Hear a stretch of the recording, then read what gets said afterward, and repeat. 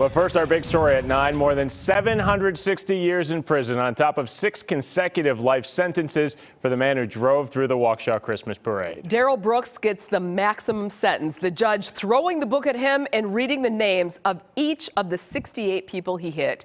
Our Sam Kramer was there. He joins us live. And Sam, her decision came after one last chance for Brooks and his family to speak today.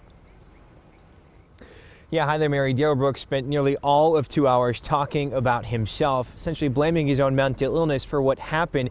He stopped short of apologizing for what happened that night, but he said he is sorry for what happened. The judge, Dorow, saw right through that. In fact, she punctuated his sentence as strongly as she could. On the final day of his sentencing, what happened on November 21st, 2021 was not. He stands defiant again. Not not an attack. Darrell Brooks spent two hours crying, describing his family upbringing and blaming his mental health struggles for what happened during last year's Waukesha Christmas parade. He included this brief apology. Not only am I sorry for what happened, I'm sorry that you could not see what's truly in my heart. Yet Judge Jennifer Dorow says the court and the community have already seen who Brooks truly is. I waited patiently for an apology, a true apology. I didn't get it. And not for my benefit, but for the victims. For weeks, Dorow sparred with Brooks, who represented himself over court matters, his questioning of jurisdiction and authority, and his disrespect for the court.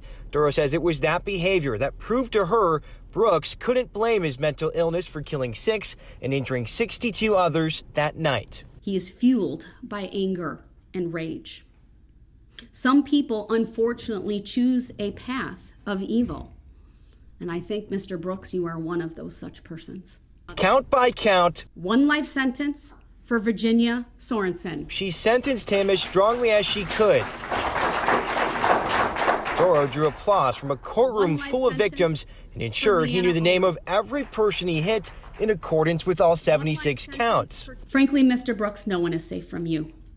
This community can only be safe if you are behind bars for the rest of your life. District Attorney Sue Opper told us afterward her team and the victims appreciated the sentiment. That was uh, really tremendous. The victims are very grateful for that, that she um, respected and cared about each one of them enough to name them. And the end result, knowing Brooks will never step foot outside of prison again.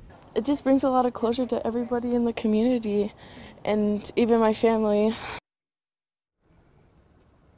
Uh, Judge Dorow also spent a lot of time recapping so many of the victim impact statements we heard yesterday in court. She called a lot of these victims heroes, not just for their actions that night or in the months that followed, but also for so many who were brave enough and were called to take the stand with Brooks there to cross examine them. Now, speaking of Brooks, we've known all along he intends to appeal. He has 20 days to file a notice of his intent to do so. We're live tonight in Waukesha. Sam Kramer, Fox 6 News. As it stands tonight, Darrell Brooks will die in prison. We'll see that what his next move is. All right, Sam, thanks.